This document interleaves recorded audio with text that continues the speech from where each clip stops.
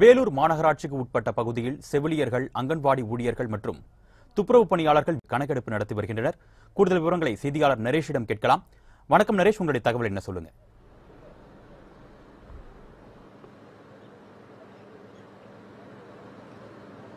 வணக்கம். அதாவது வேலூர் மாநகரை பொறுத்தவரையில் கொரோனா வைரஸ் ஆனது இரண்டு நபர்களுக்கு இருப்பதாக நேற்று வந்து கண்டறியப்பட்டு அதனைத் தொடர்ந்து இன்று மாவட்ட நிர்வாகமும் மாநகராட்சி நிர்வாகமும் பல்வேறு தீவிரமான நடவடிக்கைகளில் ஈடுபட்டு வருகிறார்கள்.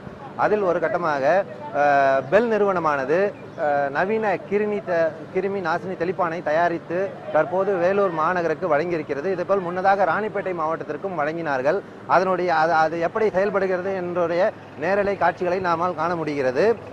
தற்போது அந்த கிருமி நாசினி நவீன தெளிப்பானானது. தற்போது வந்து மாவட்ட ஆட்சியர் முன்பாக அது எப்படி செயல்படுகிறது அது அதை பற்றி தற்போது விலக்கி கொண்டிருக்கிறார்கள் பெல் நிறுவன அதிகாரிகள். அதேபோல் போல் மாநகராட்சி பகுதியில் இன்று காலை சுமார் ஒரு ஒரு ஆட்டோவிற்கு நான்கு பேர் என்ற வீதம் நூற்றி எண்பது நபர்கள் மாநகர் பகுதி முழுவதும் தீவிரமான கண்காணிப்பு பணிகளில் ஈடுபடுகிறார்கள். இவர்களுடைய பணியானது மா மாநகரில் உள்ள வீடுகளுக்கு நேரடியாக சென்று அங்கு வந்து கொரோனா வைரஸ் தொற்று யாருக்கேனும் இருக்கின்றதா? அதை பற்றி அறிந்து உடனடியாக வந்து மருத்துவத்துறையினருக்கு தகவல் தெரிவிக்க வேண்டும் என்று தற்போது அந்த பணிகளில் ஈடுபட்டிருக்கிறார்கள். தற்போது இந்த கிருமி நாசினி குறித்து கிருமி நாசினி இயந்திரம் குறித்து மாவட்ட நிர்வாகத்திடம் பெல் நிர்வாக அதிகாரிகள் தற்போது விலக்கிக் கொண்டிருக்கிறார்கள். இது வந்து மாநகர் ப பகுதியில் உள்ள அனைத்து பகுதிகளிலும் சென்று இந்த கிருமி நாசினி தெளிப்பானானது செயல்படும் என்று தெரிவித்திருக்கிறார்கள். தற்போது மாவட்ட ஆட்சித்தலைவர் நம்மிடையே இருக்கிறார்.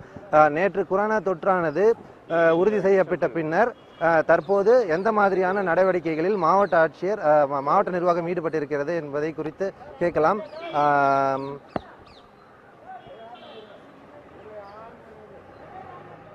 மாவட்ட ஆட்சியர் சில அலுவல் காரணமாக சென்றுவிட்ட காரணத்தினால் இதுவே தற்போது நிலையாக இருக்கிறது. உங்களுடைய விரிவான தகவலுக்கு நன்றி நரேஷ்.